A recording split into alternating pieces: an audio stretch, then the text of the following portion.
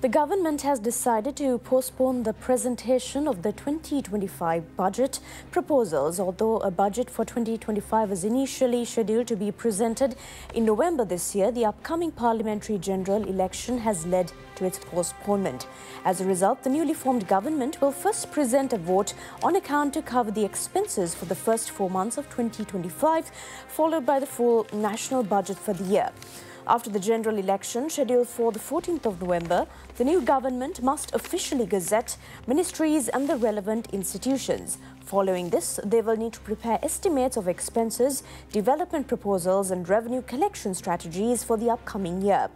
Due to the limited time available for these tasks, the government will first focus on submitting a vote on account for the initial four months of 2025, a government source said.